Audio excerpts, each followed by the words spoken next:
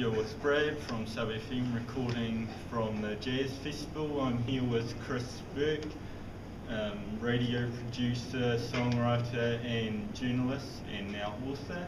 Just here to talk to him about his book, Blue Smoke. Would you give us a summary of what your book's about? I know it's quite a long, thick book. But Oh, it's the it's the history of the early days of popular music in New Zealand, uh, the pre-rock and roll era, the 40 years before rock and roll. Um, I didn't go into the colonial era, which is uh, you know, parlour songs and things like that. This is when jazz arrives just after the First World War, and uh, you had swing bands, and in the 30s and 40s, and the Americans arrive, and we, we hear their wonderful bands, and the musicians get encouraged.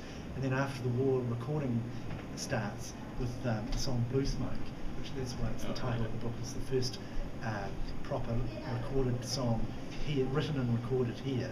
Um, and then there was a boom in the 50s when records were 78s. Um, and um, then suddenly, mid 50s, the jazz players, they're in the cold because rock and roll's arriving. And so they have to find another outlet. Um, but suddenly, jazz is no longer the popular music because it keeps changing. It's been told to be the New Zealand Jazz Bible. What do you think of this statement? Oh well, it's that's I hadn't heard that, so it's really nice that people are saying that. But uh, yeah, there's a lot in it.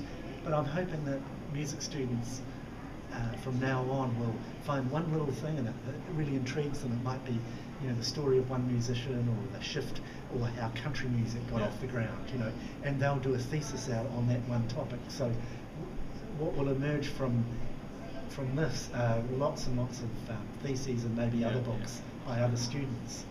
Okay. And uh, supposedly there was some unattainable photos in this book. Are you gonna give us your secret of how you got these Oh, photos? Or oh well, Is it this just is a it. rumor? Unattainable photos. Uh, um, well, uh, it was just a price thing, really. I worked at the Listener 25 years ago, and uh, that's where I saw all of these photos early on. And but it's now um, uh, owned by diff- different company. It's not part of broadcasting. So. Um, so I just couldn't afford to pay what they were going to cost. So I went round to all the musicians that I'd interviewed over the years and um, sat on the kitchen table with my scanner and scanned. They usually had copies themselves, so I did a lot of miles to track down the photos. But um, yeah, that's the way it is these days. Um, archives will, uh, cost money to store, so they, so they, there's an ongoing cost. Okay. Um, for the people who missed out on your show today, could you, I don't give a little description of it? Oh, I wanted to. Um, I made it very much about the jazz because it's the Tauranga Jazz Festival. The festival was really started just as my book finished, um, because rock and roll arriving, the big, the era of the big band's over as far as major gigs. Uh, so the Tauranga Jazz Festival became an outlet for them uh, to gather and still be able to play in that style and more avant-garde types of jazz. But I've also got the early history of country music in New Zealand, uh, the Hawaiian sound, you know, with steel guitars, and uh, it's like a this imaginary, idyllic South Pacific paradise. There's lots and lots of recordings with things like Haere Mai, Everything is Kapai, and uh, When My Wahine Does the Poi.